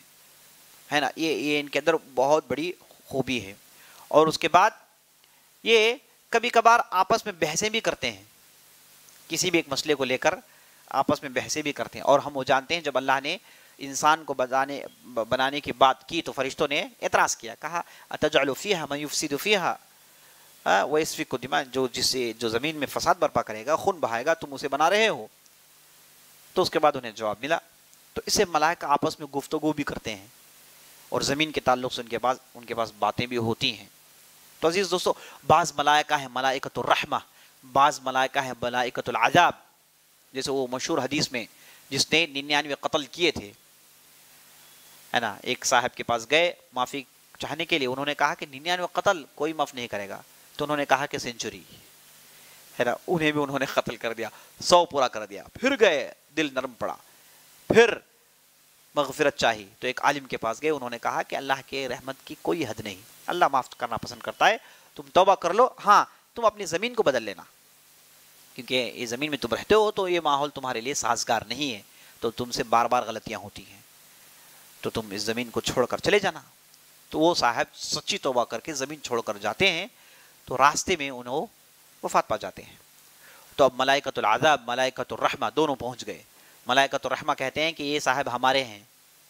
हम रहमत के फरिश्ते हैं, इन्होंने सच्ची तोबा की है, हम इन्हें जब्त करेंगे इनकी रूह को। मलाइकतुल आज़ाब ने कहा कि ये आदमी ने सौ सौ गलतियाँ की हैं सौ सौ इसने कत्ल किए हैं। ये कैसे मुमकिन है? तो अल्लाह के पास गए तो अल्लाह ने कहा कि ज़मीन मापो, ये जहाँ से आए हैं और जहाँ इन्हें जाना है और कितना इन्होंने फासला तय किया है। अगर इन्होंने नेकी के राह में ज़्यादा फासला तय किया है और जहाँ जाना है वो कम है ज़्यादा फासला इन्होंने तय किया है और जहाँ पहुँचना है वो फासला कम है। तो मलाइकतुल रहमा इनके रूह को कब्ज करेंगे। अगर ये नहीं है तो मलाइकतुल आज़ाब तो जब नापा गया तो ये ज़्यादा तय कर चुके थे और ये जहाँ पहुँचना था वो फासला कम था। तो इन्हें मलाइकतुर्रहमा ने इनकी रूह को कब्ज किया। इस तरीके से अल्लाह के मलाइका। अब चलिए देखते हैं कि इन्हें, इन पर ईमान लाना इसके क्या फ़ायदे हैं? पहला फ़ायदा अज़ीज़ दोस्त पहला फ़ायदा ये है कि मलाइका के बारे में हम पढ़ते हैं, मलाइका के बारे में हम जानते हैं तो हमारे अंदर वो इतात का जज्बा पैदा होता है। हम भी मेहनत करने के लिए तैयार हो जाते हैं। है ना? ये इनकी इबादत, है ना? इतने ताकतवर, इतने मज़बूत होने के बावजूद ये इनकी इबादत है। है ना? ये ये मासूम है। मासूम का मतलब इनसे कोई गुनाह नहीं होता। ये गुनाह करने वाले नहीं है। उसके बावजूद भी इबादत तो हम इंसान, इनसे हमसे गलती भी होती है तो हम क्यों ना इबादत में आगे बढ़े? तो इन पर ईमान लाने का फ़ायदा यह है कि हम भी इन जैसा मेहनत करें। और उस दूसरी बात, दूसरा फ़ायदा यह है कि हम इनकी पैरवी करें। जैसे आपने वो हदीस सुना जिसमें नबी सासल ने कहा, क्या कहा? कि क्या तुम मलाइका के जैसा सफ बंदी नहीं करोगे? तो इसे मालूम हुआ कि नबी सासल हमें तालीम दे रहे हैं कि हम मलाइका की पैरवी करें। उनके राह में चलें, वो बिल्कुल सही रास्ते में हैं। और अल्लाह के करीब हैं, उनके रास्ते में चले तो उनकी पैरवी करना ये भी मकसद है। और तीसरा फ़ायदा ये है कि अल्लाह ने इन्हें बनाया है ज़मीन में ताकि अल्लाह अपनी हजत कायम करे। मलाइका की तख्लीक का मकसद क्या है? क्यों अल्लाह ने मलाइका बनाया? क्या अल्लाह खुद नहीं कर सकता? कर सकता है, कोई मामला नहीं। लेकिन अल्लाह ने मलाइका को बनाया इतमाम हजत के लिए क्या मतलब इतमाम हजत देखिए अल्लाह ने जब ये कहा शहीद अल्लाह अल्लाह हुआ वलमलाइकतु व उलुल इल्म काइमम बिल ला इलाहा इल्लहुल अजीजुल हकीम अल्लाह गवाही देता है और मलाइका गवाही देते हैं और इल्म वाले गवाही देते हैं कि अल्लाह के अलावा कोई मबूद बरहक नहीं यानी अल्लाह की वहदानियत पर विटनेस करने के लिए अल्लाह ने किन्हें बनाया है? पहले मलाइका को बनाया है। मलाइका शहादत देते हैं कि अल्लाह एक है। माना ये कि तुम इंसान जो चीज़ को तुम मानने के लिए तैयार नहीं हो, तुम्हारे अंदर ये तमाम इश्काला शुभात हैं तो देखो तुमसे कई दर्जे मज़बूत, तुमसे कई दर्जे पाक, तुमसे कई दर्जे बुज़ुर्ग। इनका मामला ये है कि ये अलल ऐलान इनमें से एक भी मुखालफत नहीं करता, सब एक जबान होकर, एकजुट होकर कहते हैं कि अल्लाह एक ही है। एक के अलावा नहीं। है तो अल्लाह की वहदानियत का गवाह देने वाले फरिश्ते हैं। तो इसे बात मालूम हुई, अल्लाह ने फरिश्तों को इसलिए बनाया ताकि क़यामत के दिन जब लोग पहुँचे तो ये ना कहे कि अल्लाह ऐसा नहीं था। तो जब ये इनकार करेंगे तो अल्लाह फरिश्ते लाएगा और फरिश्ते कहेंगे कि किसके पास इंसाफ था? क्योंकि इंसान झूठ बोलेगा। मुनाफिक भी उस जमान, उस दिन झूठ कहेगा, अल्लाह मेरा कोई गुनाह नहीं कहेगा वो। क्योंकि उसकी आदत है ज़मीन में झूठ बोलकर। वहाँ पहुँचने के बाद भी अपनी आदत से मजबूर होगा, इनकार करेगा। कहेगा, ऐसा नहीं, मैंने कभी झूठ नहीं, मैंने कोई गलती नहीं की, मैंने फला नहीं किया। और वहाँ पर अल्लाह के पास कोई अपनी गलती मान ले तो उसके लिए माफ़ी है। कोई एतराफ़ कर ले कि भाई, गलती हो गई। और मोमिन का यही तरीका होगा। जब अल्लाह उनसे कहेगा कि तुमने गलती की, कहेंगे कि हाँ हाँ यार अल्लाह ने माफ़ कर देगा। अब मुनाफिकीन, फासिकीन, फाजरीन पहुँचेंगे तो वो तो ऐलान कहेंगे नहीं, हमने तो ऐसा नहीं किया ना, हमने ऐसा कब किया? तो वहाँ पर फरिश्तों को लाया जाएगा और फरिश्ते फैसला करेंगे, कहेंगे कि हाँ तुमने फुलान दिन फुला वक्त, ये टाइम ये मिनट में गलती की, देखो। तो फरिश्तों को बतौर हजत अल्लाह ने बनाया। वरना हो सकता है कि बाज कमज़ोर इंसान, जिनका एतक़ाद इनका ईमान कमज़ोर, वो ये कह बैठे कि, अल्लाह, नाइंसाफ़ी की नौज़बिल्ला अल्लाह ने मुझे ऐसे ही अजाब दे दिया, ऐसे ही जहन्नम में फेंक दिया। अल्लाह ने मुझे दुश्मनी की जैसे यहूद कहते हैं नौज़बिल्ला हाँ कभी ये कहेंगे कि हाँ, अल्लाह हमसे नफरत करता है। कभी ये कहेंगे कि हम अल्लाह के औलाद हैं है ना? अल्लाह के ख़ास लोग हैं है ना? हम नहन अबना अहिब्बा हम अल्लाह के बेटे और अल्लाह के महबूब तरीन लोग हैं। अल्लाह हमें चाहता है we are the selected people ये इनका कहना है आज भी कहते हैं। दूसरों को जेंटाइल्स कहते हैं ना? दूसरे है ना मामूली मखलूक। यहूद अलग है। नहनु शाबुल्लाह मुख्तार हम वो हैं जिन्हें अल्लाह ने चुना है we are the chosen people in the world ये आज भी इनका दावा है ये कोई ऐसा दावा नहीं जिसे हम इनका नहीं ये सब आपके डेमोक्रेसी ये सब ये हमारे लिए खिलवाड़ है ये हमारे लिए चरखा है जो चलाते हैं लेकिन उनके लिए तो अलग कानून है वो आज भी अपने आप को दूसरों से मिलाते नहीं अपने आप को आज भी वो सुपीरियर समझते हैं बैतुल मकदिस उनका हक है आप हज़ार फैसलों की बात करें, हज़ार आप इंसाफ की बात करें, वो कहेंगे कि ये हमारा हक है हक हासिल करने के लिए हमें बिल्कुल ये चीज़ जायज़ है कि हम किसी पर भी जुल्म करें। तो ये अज़ीज़ दोस्तों, ये कभी ऐसा कहते हैं तो कभी अल्लाह को अल्लाह कहता है, गुल्लत बिमा कहते हैं कि अल्लाह के अल्लाह का हाथ बंद है। अल्लाह कहता है कि तुम्हारे हाथ टूटे, तुम्हारे हाथ बंद हैं। अल्लाह के हाथ ऐसे नहीं है। बल यदाहु मबसूततान युनफिकु कैफ यशा। अल्लाह के दोनों हाथ खुले हैं और जैसे चाहे अल्लाह इन्फाक करता है। अल्लाह कहता है, कुल, लिमा युअज़िबुकुम? अगर तुम ये कहते हो अपने आप को, हम अल्लाह के बेटे हैं, फलां फलां हैं तो अल्लाह अजाब तुम्हें देता क्यों है? क्या नहीं हो तुम्हारे साथ?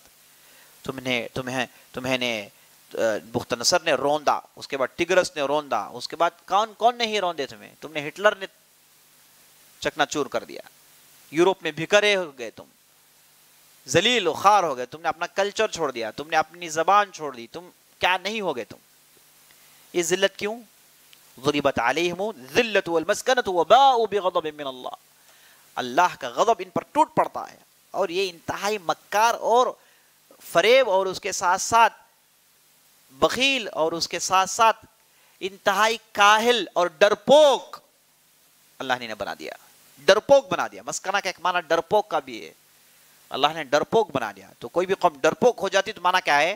अल्लाह की लानत है उस पर। हिम्मत वाले, डटकर खड़ने वाले, मुकाबला करने वाले, अगरचे की गिनती के चंद हों। याद रख लीजिए, अल्लाह की रहमत इनके साथ है। जब डर गए, अल्लाह की रहमत से बाहर हो गए। वो कम मिन फ़िअतिन कलीलतिन, गलबत फ़िअतन कसीरतन बिइज़निल्लाह। कितनी छोटी छोटी टोलियाँ हैं। अल्लाह के हुक्म से बड़े बड़े कौमों पर गालिब हो गई। बड़े बड़े कौमों को इन्होंने डांड खट्टे कर दिए। खाको खून में लौटा दिया। कितने ऐसे छोटे छोटे फ़िरक़े हैं छोटे छोटे टोलियाँ हैं। तो जिस दोस्तों, ये है यहूद का मामला। तो अल्लाह सुबहान ऐसे लोग अगर पहुँच जाए तो उधर भी झगड़े कहेंगे कि तुमने तुमने बेइंसाफी कर दी हमारे साथ। ये वो अमाल मैंने किए थे, इसमें लिस्ट में है ही नहीं। तो ऐसी बहसें हो सकती हैं। तो अल्लाह उस वक्त क्या कहेगा? अल्लाह कहेगा, सनख्तिम अफवाहिम तुकल्लिमुन ऐदीहिम व तशहद अर्जुलुहुम बिमा कानू यक्सिबून आज का जबान पर पट्टी पड़ जाएगी। तुम जबान है ना ये? निफाक कुफर से भरी बंद कर दे। अब इनकी चमड़ी इनके खिलाफ गवाही देगी। इनके हाथ, इनके पैर, इनके हड्डियाँ इनके खिलाफ गवाही देंगे। और मलाइका आएँगे और भी गवाही देंगे। तो मलाइकों को अल्लाह ने बतौर इतमाम हजत अल्लाह ने बनाया है। समझे? यही मलाइका की तख्लीक का मकसद है। तो मलाइका पर हम ईमान लाते हैं, इसके ये फ़ायदे हैं। हम उनकी तबाह करते हैं, हम उनकी पैरवी करते हैं। और जब हम ये महसूस करते हैं कि मलाइका चारों तरफ़ हैं, क्या हम मलाइका से शर्म ना आए? शर्म ना महसूस करें। एक मरतबा नबी सल्लल्लाहु अलैहि वसल्लम तशरीफ़ फरमाते, आप वसल्लम कुएँ में अपने पैर डाले हुए थे तो आप वसल्लम ने अपने कपड़ों को थोड़ा ऊपर कर लिया था, जिससे आप वसल्लम के दोनों घुटने नज़र आ रहे थे। तो अबू बकर सिद्दीक आए तो आप वसल्लम वैसे ही बैठे रहे। उमर बिन खत्ताब आए तो आप उसी हालत में कुएँ में बैठे रहे। उस्मान रज़ी आए तो आप ने अपने कपड़े को दुरुस्त कर लिया। तो साहबा से कहा, अला अस्तही मिमन तस्तही मिनहुल मलाइका? मैं क्या उस आदमी से शर्म महसूस ना करूँ जिससे मलाइका शर्म खाते हैं। तो उससे मालूम है कि मलाइका शर्म खाते हैं। है ना हमको मलाइका को देखकर शर्म खाना है। जब आदमी गलती करता है तो कम अज़ कम ये जान ले कि मलाइका दे हैं आस पास इंतहा बुज़ुर्ग लोग, नेक लोग आज तो हमारा मामला ये है, हमारी औरतों का मामला ये है कि दाढ़ी टोपी वालों को देखो तो सर में कपड़ा ओढ़ लेते हैं ना। सिर्फ़ दाढ़ी टोपी वालों को देखे तो सर में उनके ओढ़नियाँ उड़ जाती हैं, वो थोड़ी देर के लिए हिल जाती हैं। है ना? जबकि हो सकता है कि वो कमर्शियल दाढ़ी हो हो सकता है कि कमर्शियल टोपी हो, ऐसे हमारे माशरे में बहुत हैं कमर्शियल है ना? दिखावे के लिए। ये दिखाते ताकि भरोसा आ जाए लोगों को, ताकि उनके पैसों को लूटे, उनके जेबों को काटें, है ना? ईमान की तिजारत करने वाले ऐसे बहुत है हमारे माशरे में। तो इनको देखकर ये, इनके पित्ते पानी हो जाते हैं। तो हमको ये महसूस करना है कि भाई, आप आमने सामने फरिश्ते हैं, वो देख रहे हैं। तो आदमी के अंदर हया तो कम अज़ कम आए। अलहया ओ मिनल ईमान। शर्माना ये ईमान का हिस्सा है। शर्माना ये ईमान का हिस्सा है। आप वसल्लम ने कहा नाशित अगर शर्म नहीं आती तो तुम जो चाहे करते करो। तब कोई एतबार ही नहीं तो शर्म नहीं आती है तो तुम इंसान कहाँ रहे? इंसान की खसत है कि तो शर्म आती है। मलाइका शर्म खाते हैं तो इंसान भी शर्म खाता है। तो मलाइका जब शर्म खाते हैं, हमको भी शर्म खाना चाहिए। तो जब वो मौजूद हैं चारों तरफ़, वो आपकी हिफाजत कर रहे हैं, आपके अमाल को लिख रहे हैं, और उनकी मौजूदगी में आपकी गलती, उनकी मौजूदगी में ये बुराई नसल्लाफिया तो ये एक शूर इंसान के अंदर पैदा होता है। तो और भी बहुत सारे फ़ायदे हैं मलाइका पर ईमान लाने के। ये मुख्तसर मैंने आपके सामने अर्ज़ कर दिए। और ये मलाइका के ताल्लुक से इतना ही है। तो एक चीज़ हमको याद रखना है कि मलाइका पर हम ईमान लाते हैं, वो एक अल्लाह की मखलूक हैं और इनकी ये सिफ़ात हैं, वो मोमिन को पसंद करते हैं और काफरीन की वो भी दुश्मन हैं और अल्लाह सुबहाना ताला ने इन्हें बनाया है बतौर हजत ये चीज़ें हैं, ये पॉइंट्स हैं हम जिन पर ईमान लाते हैं। तो यहाँ पर हमारी बात मलाइका पर मुकम्मल होती है इन तो कल की मजलिस में हम देखेंगे कि रसूलों पर, मलाइकती व रसूली रसूल है कि कुतुब। अलीमान अलीमन बिल्ला मलाइकती व कुतुबी तो कल हम गुफ्तु करेंगे किताबों पर इन तो आज हमारी गुफ्तु मलाइका पर ख़त्म होती है। हदा बिल्ला तोफ़ी वसल्ला नबी महमद जी, बिस्मिल्लाह।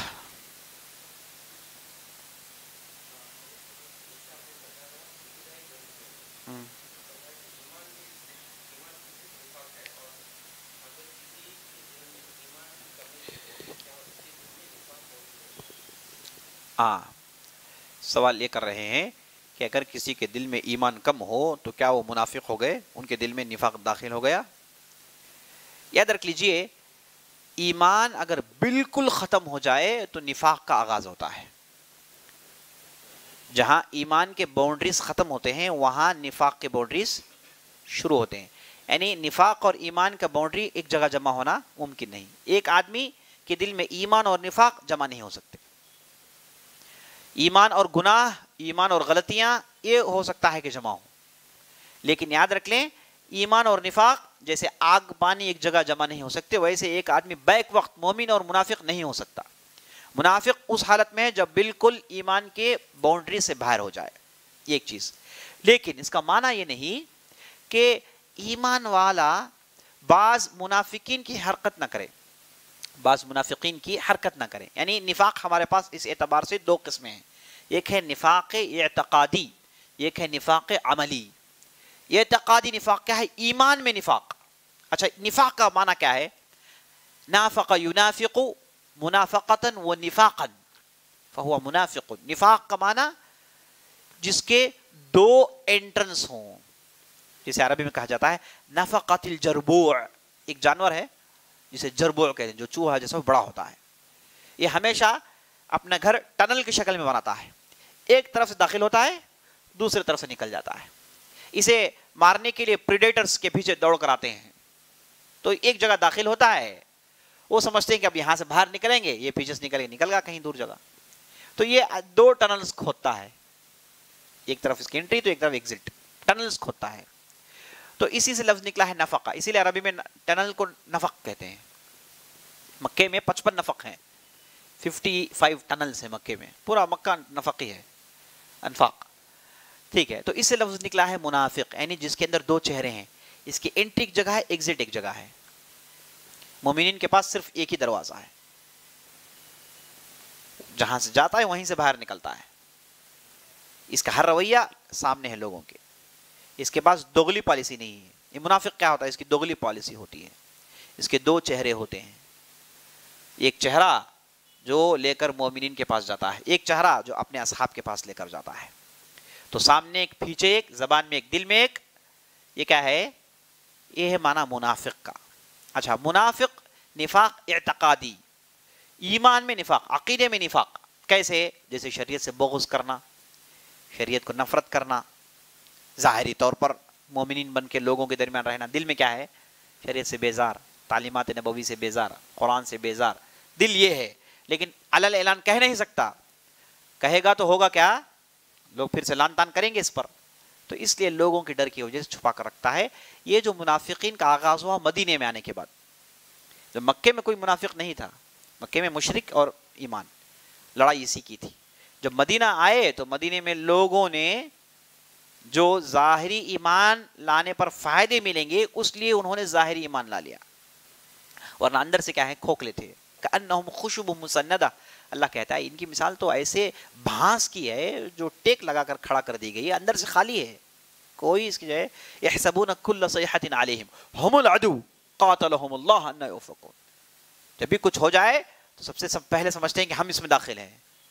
बहरहाल ये है अकीदे में निफाक। जिसके कुफर काफिर होने में ज़रा बराबर भी शक नहीं। यही वो लोग हैं इन मुनाफिकीन फिदरकिल असफल मिन अन्नार ये मुनाफिकीन है जो जहन्नम की निचले गड़े में होंगे, ये वही मुनाफिकीन है। एक है निफाक अमली। अकीदे में निफाक नहीं है, अमल में निफाक है। जैसे नबी सासल ने कहा, मन कुन नफ़ी ही सलासतों मन कुन नफ़ी ही कान मुनाफिकन खालिसा। इधर हद कदबा, व इधर खास मफजरा व इधर तुमिन खान। तीन ऐसी खसलतें अगर किसी के अंदर हो तो वो खालिस मुनाफिक है। वो क्या है? जब गुफ्तु करे, झूठ कहेगा। झगड़े तो गालियाँ बकेगा। ऑक्सफोर्ड इंग्लिश हो जाएगी इसकी। अपने आप पे से बाहर हो जाएगा, है ना? और जब इसके पास कोई भी अमानत रखे, उसमें ख्यानत करेगा। ये अज़ीज़ दोस्तों, ये निफाक अमली है। अमल में निफाक है। कभी कभार हो सकता है कि जिसके दिल में ईमान हो, वो भी कर बैठे इसे। लेकिन इसे निफाक इसलिए कहा गया है कि वो डर जाएँ, ये मुनाफिकीन की सिफात हैं। अगर एक सिफत लग गई तो उसके बाद दूसरी सिफतों खींच कर लाएगी। अब होते होते होते होते ये सीधे मेन में हाथ रख देगी। उसके बाद ईमान चला जाएगा। ठीक है? तो इसलिए इन चीज़ों को मुनाफिकीन कहा गया है। है ना? जैसे नबी शासन हदीस में कहा कि आसान यकुन मोमिन का मोमिन झूठ बोल सकता है। मोमिन जो है गलती कर सकता है। नौजबिल्ला उससे गलती हो सकती है, गुनाह भी हो सकते हैं, बड़े गुनाह भी हो सकते हैं।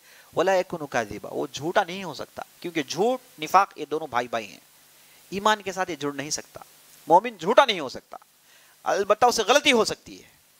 बड़े से बड़े गुना उसे सरजद हो सकते हैं, लेकिन वो हरगिज क्या नहीं हो सकता, झूठा नहीं हो सकता। तो इसे मालूम अज़ीज़ दोस्तों, बाज आमाल हैं जिन्हें नबी वसल्लम ने निफाक कहा। ये अमल कैसे इसका ताल्लुक है। ये मुनाफिकीन का अमल है, कहेंगे हम। लेकिन वो आदमी, क्या वो मुनाफिक है? हम ये नहीं कह सकते। तो इन्हें कहेंगे निफाक अमली। और निफाक अमली का ख़तरा यह है कि ये कभी ईमान पर डाका डाल देगा और ईमान को भी निफाक एतकादी में दाखिल कर देगा। तो इसलिए आदमी को चाहिए कि निफाक अमली से बचे। वल्लाह आलम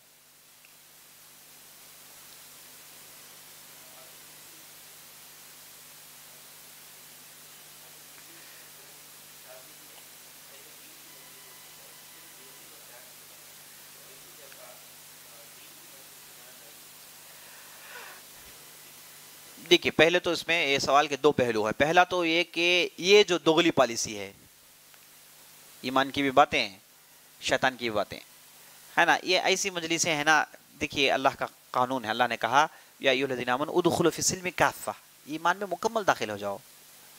यही तो हुक्म है। पार्शियल ईमान नहीं है। इसका सेमी ईमान पार्शियल ईमान टेम्परवरी ईमान, ये हमारी शरीयत में नहीं जीज दोस्तों। ये नहीं चलेगा। आप इस्लाम में आते तो मुकम्मल आइए इस्लाम में प्रैक्टिकल मुस्लिम, गैर प्रैक्टिकल मुस्लिम ये तस्वर है ही नहीं। ये ईसाइयों के पास है। ईसाई है ना, अपने आप कहेंगे, मैं प्रैक्टिसिंग क्रिश्चियन हूँ, वो नॉन प्रैक्टिसिंग क्रिश्चियन है। हमारे पास ऐसा नहीं है। हमारे पास मुसलमान तो है तो क्या है? प्रैक्टिकल है। ये क्या है? नॉन प्रैक्टिकल मुसलमान हमारे पास नहीं है। ये ये क्लासिफिकेशन हमारे पास नहीं है। तो इस वजह से ये हमारे माशरे में आम मुगालता, बाज़ लोग कहते हैं कि भाई दीन भी कर लें, दुनिया भी कर लें। दीन में ही दुनिया है, इसमें कोई शक नहीं। लेकिन ये हराम है, ये कैसे दुनिया हो जाएगा? हराम चीज़ों को आप दुनिया में डालकर उसे आप दुनिया मत कहिए। दुनिया वो है जो दीन में दाखिल है, हलाल है। इसी को हमको इख्तियार करना है। एक बात। दूसरी बात यह है कि अगर कोई आदमी दीनी मजलिस में बैठता है, जब बुराई शुरू हुई तो मस्जिद छोड़ देता है तो उसके लिए जायज़ है। उसके लिए ऐसा करना जायज़ है। लेकिन ये मजलिस में बैठा रहा, ख़त्म हुई तो उस मजलिस बैठ गया। ये चीज़ गलत है, ये चीज़ नहीं होनी चाहिए। मोमिन वो है जो हराम से बचता है, हराम से उसे बेकरारी होती है। हराम में आदमी अगर लज्जत महसूस करे, हराम को आदमी समझे कि कुछ भी नहीं तो फिर मुनाफिक हो गया ये तो ख़तरनाक मामला है ये। बड़ा ही घनावना मामला है। सो बुराई से बचना चाहिए, अपने दामन को छुड़ाकर उठना चाहिए। है ना? नबी वसल्लम हदीस में कहते हैं कि तीन ऐसी चीज़ें हैं अगर किसी ने उसे कर लिया तो उसने ईमान का मज़ा चख लिया। उसमें आप ने कहा कि फिन्नार उसमें से वो आदमी भी है जो ईमान, ईमान का मज़ा चख चुका है जो ईमान लाने के बाद जब उसे लेकर जाकर बुराई में डाले तो उसने कहा कि मुझे दूसरे यानी मैं जो है दूसरी खतरनाक चीज़ कर सकता हूँ लेकिन वापस ये गलती में नहीं आ सकता। है ना मुझे आग में डाल दीजिए। लेकिन ये गलती में दोबारा मत बुलाइए। आग में दाखिल हो सकता हूँ मैं दुनिया के लेकिन दोबारा गलती नहीं कर सकता। ये सोचने वाला इसने ईमान का मज़ा चक लिया। नबी सल्लल्लाहु अलैहि वसल्लम ने कहा तो, तो बुराई से बचना ये ईमान का एक शेवा है। ये बुराइयाँ ये ईमान में डाका डालने वालियाँ हैं। अल्लाह हिफाजत फरमाए। अल्लाह आलम. ओ बहुत ही गहरा सवाल कर रहे हैं कि क्या मलाइका इंसान की दिलों की बातों को जानते ही नहीं जानते हैं? जैसे आपने इसी आयत के रूह में हम देखा, किरामन कातिबिन या अलमून मा तफ़ालून ये जो आमा लिखते हैं, ये जानते हैं कि तुम क्या करते हो। तो जब फेल की बात आई, यानी करने की बात आई तो इसमें दिल का भी फेल है, वो भी दाखिल है। तो जब कोई मोमिन या फिर कोई मुनाफिक या फिर कोई गुनहगार जब दिल में बुराई सोचता है तो ये भी मलाइका को उसकी खबर पहुँच जाती है। इसलिए वो रुके रहते हैं। बुराई उसने सोच लिया, लिखते नहीं। जब तक कि वो बुराई ना कर ले। लेकिन जब वो नेकी सोचता है तो फ़ौरन एक अजर लिख देते हैं। करता है तो दस अजर। तो इन हदीसों के ज़रिए से बात मालूम होती है कि वो मोमिन की दिल की बातें जानते हैं। ये कौन है? जो उसके साथ रहते हैं। जो उसके साथ रहते हैं। लेकिन क्या ये तमाम गैब की बातें जानते हैं? ऐसा नहीं है। इस आदमी के तार क्योंकि वो साथ रहते हमेशा। इसके रवैये को जानते हैं, इसकी सोच को जानते हैं।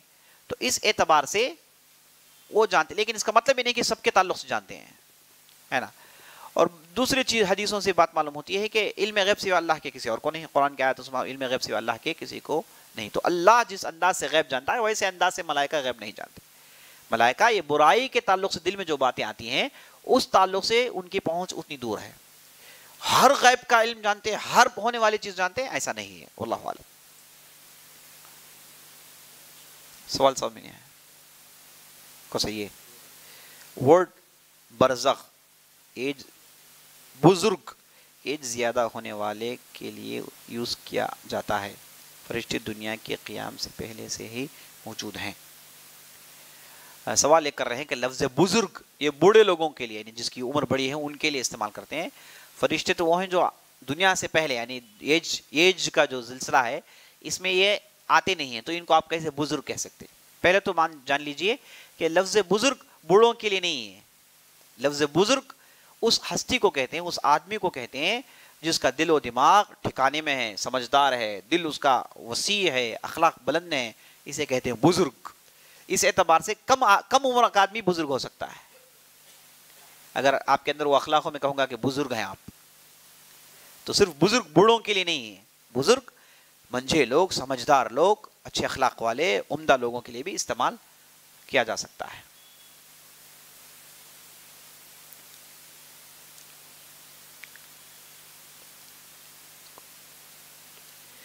सवाल कर रहे हैं कि बैत मामूर में दाखिल हुए फरिश्ते वापस नहीं आएँगे, इसको थोड़ा दोहराइए। है नहीं वो जो हदीस में आपके सामने ज़िक्र किया, मुस्लिम की हदीस, जिसमें अल्लाह सुबहाना ताला ने अल्लाह सुबहाना ताला ऐसी फ़रिश्तों को बनाता है ऐसी मखलूक़ात बनाता है फ़रिश्तों की, जो एक मरतबा दाखिल हो जाएँ, सत्तर हज़ार एक मरतबा अल्लाह पैदा करे तो सत्तर हज़ार सीधे बैत मामूर में दाखिल होते हैं, और उसके बाद वो बाहर कभी नहीं निकलते। बनते हैं, जाते हैं अंदर, बनते हैं, अंदर जाते हैं, बनते हैं, अंदर जाते हैं। कोई बाहर नहीं निकलता। से मालूम हुआ कि कितनी उनकी बड़ी तादाद है। यही इसे मकसूद है, बहुत बड़ी तादाद है। बाहर नहीं आते, इबादत में मसरूफ रहते हैं। हम हरम जाते हैं तो बाहर आ जाते हैं ना, मस्जिद में जाते हैं तो बाहर आ जाते हैं। इबादत पार्ट टाइम करते हैं फुल टाइम तो इबादत नहीं करते हम। इबादत कर ले, फिर बाहर निकल गए। फरिश्ते ऐसे नहीं फुल टाइम इबादत करते हैं। इबादत महजा में हमेशा मौजूद होते हैं। ये इसका माना है। वल्लाह आलम।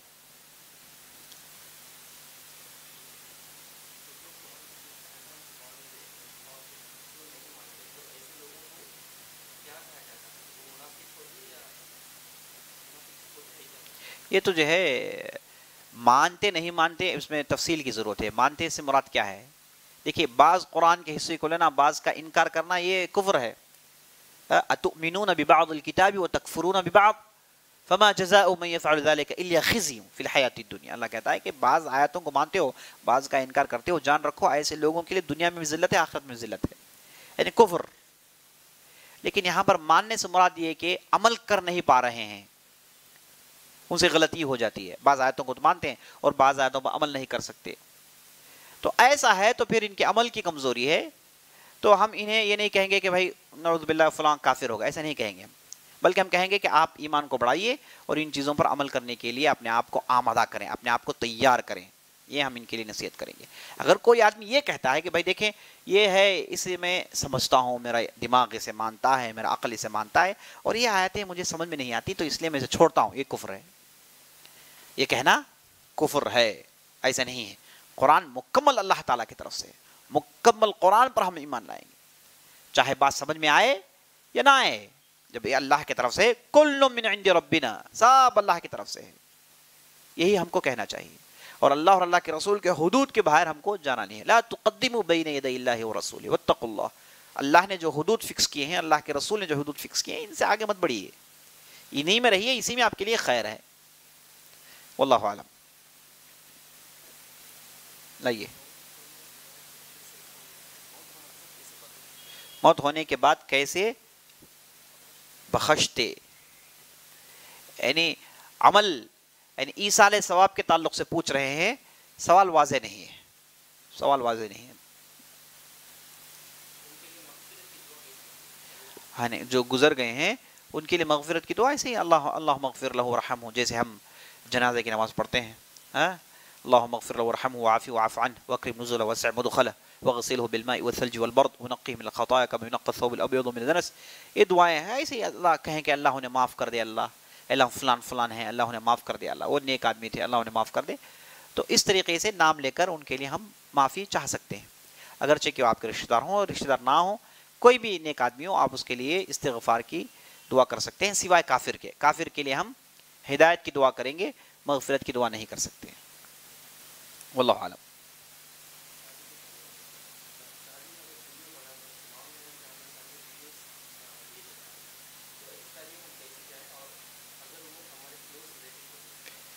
आप अब जाएँ, ज़रूर जाएँ, लेकिन उन्हें कहें कि कैमरा बंद करें। है ना, कैमरा बंद करें और कहें कि ये लेडीज़ में कैमरा ना लाएँ। ये हमारे लोगों के पहले से हमारी इतनी परेशानियाँ हैं, है ना?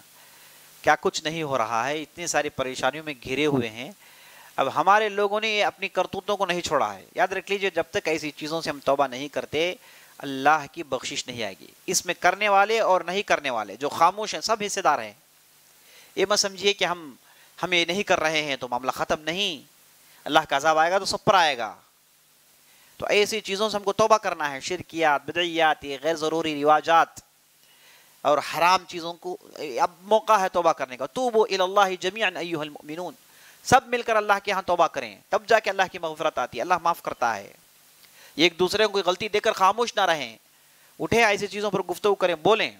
तो ऐसे शादी में जब जाएँ तो बाकायदा कहें कि इसे नहीं करना है। जो जिम्मेदार हैं, उन्हें जाके कहेंगे ये नहीं करना है।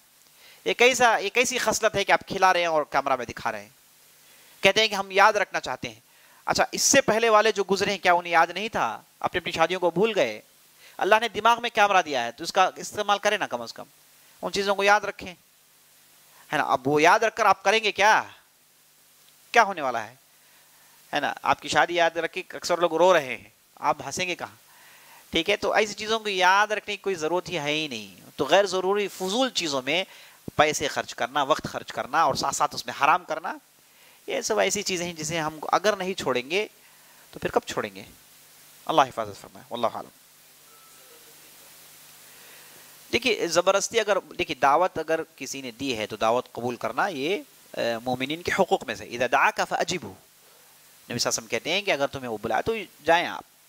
लेकिन अगर कोई वहाँ मुहर्रमात चल रहे हैं तो आप उज़ुर पेश कर सकते हैं कि देखिए, ये है, हराम चीज़ मैं इसे, अलबत्ता जो है, उज़ुर पेश कर सकते हैं। और जब बहुत ज़्यादा ज़बरदस्ती करें तो साफ़ कह दे कि ये चीज़ें हैं तुम्हें। नहीं आ सकता। हम कितने लोगों को ऐसे जानते हैं कि ऐसे जो है ख़ास ख़ास लोगों ने उन्हें बुलाया और जब उधर वो पहुँचे मैरिज हॉल में, तब उन्होंने मुनकरात देखे। तो ऐसे उल्टे पैर उतर कर चले गए। लोग उन्हें बुला रहे थे, बुला रहे थे, लेकिन वो छोड़कर चले गए। ऐसे कितने लोगों को हम देखते हैं, जानते तो इन, इनकी वजह से होता क्या है? खतरनाक इम्पैक्ट पड़ता है। वो सोचते हैं कि भाई, हमारे आदमी चले गए। और लोगों में गुफ्तु करते हैं क्या भाई मामला? क्या मामला? क्या हो गया? जी, तब उन्हें बताया जाता है कि आए थे, ये मुनकरात पसंद नहीं है वो चले गए। तो एक चीज़ अंदर उनकी क्लिक होती है अच्छा ऐसा भी होता है। ना, कई लोगों को इस हरारत से वाकिफियत नहीं है। वो दीन को क्या है, बिल्कुल सॉफ्ट कॉर्नर लेते हैं। करें, कर ले, नहीं तो नहीं, सब चलेगा भाई। सब चीज़ राज़ी हैं, सब कॉम्प्रोमाइज़ कर लेते हैं। नहीं ये हमारे लोगों का शेवा है, जो इंतहा खतरनाक चीज़ है। तो जब कोई आदमी ऐसे करेगा तो उन लोगों को एक शेक आएगा कि महसूस करेंगे, भाई नहीं, ऐसा भी होता है। ऐसे भी हो सकता है कि नेक लोग आपकी मजलिस में नहीं आएँगे तो दोबारा नहीं करेंगे ऐसा। दोबारा ऐसे करने से सोचेंगे, दोबारा ऐसे दोहराएँगे नहीं, है ना? तो ऐसे ज़रूर करें। जाएँ, अगर मुनकरात देख रहे हैं तो आप ऐसे उल्टे पैर आ जाएँ।